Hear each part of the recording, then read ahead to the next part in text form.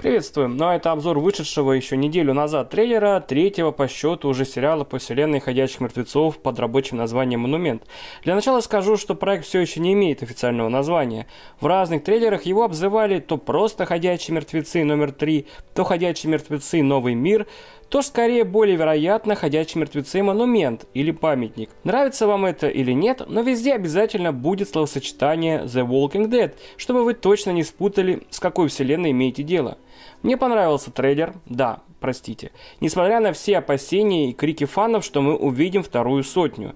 В нем сохранились дух и атмосфера ходячих мертвецов, ощущение ограниченности мира и быстрого прихода всему конца при отсутствии человеческого влияния. Много красивых кадров разрушения, того, за что мы так полюбили прошлые сезоны «Ходячих мертвецов». Много того мира, который не стало, и процесса того, как он в это превратился. Мне всегда нравились что в ХМ, что в БХМ, особенно первые серии, за то, что мы могли хоть немного посмотреть, как все начиналось и почему люди проиграли. Это главный вопрос, который преследует создателей и даже меня на моих стримах, и всегда есть надежда, что хотя бы в новом проекте нам на него дадут ответ. Итак, трейлер начинается с расцепленных рук. Думаю, это могут быть детские руки, например, главный героинь в шоу «Айрис и Хоуп». Думаю, мы увидим крушение самолета. Одну из девочек, вероятно, Хоуп пытается тянуть на себя женщина. Она кричит, явно зовя Айрис. Но этого не получается. Это как раз начало зомби-апокалипсиса 10 лет назад до повествования. Вероятно, крушение самолета происходит как раз в самый роковой момент, когда на борту оказывается кто-то укушенный и начинается ад. Что-то подобное мы уже видели в эпизодах «Рейс 657». В других моментах нам снова показывают вблизи маленькую Арис в панике старающуюся спрятаться. С нею потом, вероятно, ее сводная сестра Хоп, мать и отец – нам даже акцентируют внимание, что они семья, когда мы видим детскую фотографию их вместе. Вообще на этих сестрах, вероятно, в шоу и будет главный упор, поскольку мы часто видим их вместе. Мне кажется, в этой катастрофе они все же потеряли мать. Ее могли укусить, ну или просто сожрать в толпе мертвецы, поэтому Арис уже на получении диплома акцентирует внимание только на своем отце. К слову, отец обнимает же в трейлере и Хоуп, тем самым доказывая, что это именно она, маленькая, вместе с Арис, показана на семейном фото. Отец выжил тогда в катастрофе, в отличие от матери, и теперь он положил жизнь, чтобы изучить этот вирус и попытаться вернуть прошлый мир. Мы не знаем точно, ученый ли их отец или просто самоучка, но в трейлере Арис говорит Хоуп, что он ушел за периметр и может быть в беде. Понятно, что случилось это недавно, поскольку мы видим его здесь и уже взрослую Хоп вместе. Может быть, он ушел туда для сбора биоматериала, а может и на поиски кого-то иного. Мы же не знаем точно, погибла ли его жена. Возможно, в той сумятице после крушения она как-то потерялась. Наше внимание обращают, что здесь и вправду все осталось по-старому. Причем настолько по-старому, что здесь даже работает университет Небраски, и в него ходят студенты. Нам, правда, не говорят, чему их там учат. Может быть тому, чтобы выжить в новом мире. Однако же такое ощущение, что в их аудиториях учатся студенты разных возрастов, поскольку на лекции здесь можно заметить явно более юного Элтона, в отличие от той же Айрис. Еще в одном фрагменте можно заметить молодого человека, выполняющего утреннюю пробежку. Его останавливают сразу три истребителя в небе. Это очень любопытно.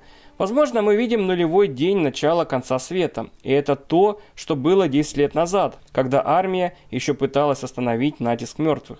Но может быть это и текущее время, и нам просто показали, насколько развито это сообщество.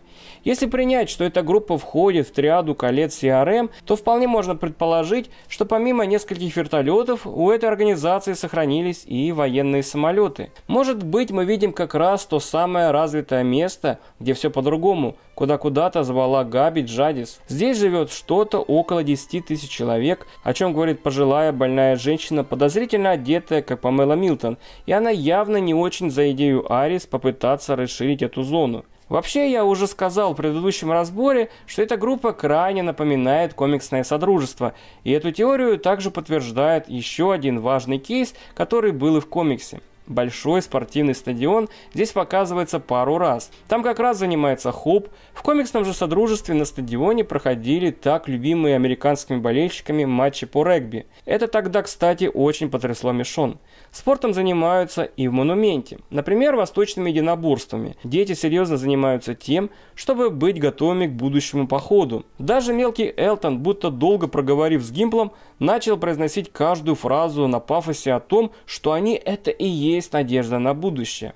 Нам неизвестно, отпустят ли эти городских сумасшедших самовольно за периметр или нет, но есть ощущение, что такие настроения будут усиленно блуждать в умах всех этой группы. Если это все же содружество из комикса, то у них должно быть не так уж все и справедливо внутри коммуны. Там процветает классовая система, и чтобы выбиться в люди, нужно потратить не один год жизни.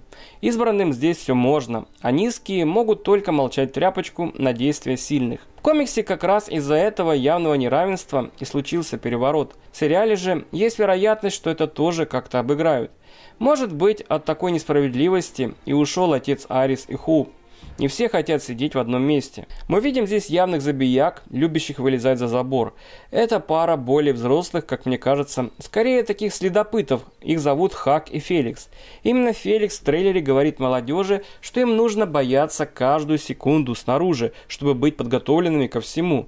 Возможно, эти двое здесь выступают в качестве Аарона из пятого сезона, который делал вылазки для поисков новых людей. Так или иначе, но в трейлере нам не показывают малолеток и следопытов в одном кадре вместе. Может быть, их отправят как раз на поиски молодежи, ушедшей без спроса на волю. А снаружи все тоже не так спокойно. Наше внимание обращают скопившиеся мертвецы у забора.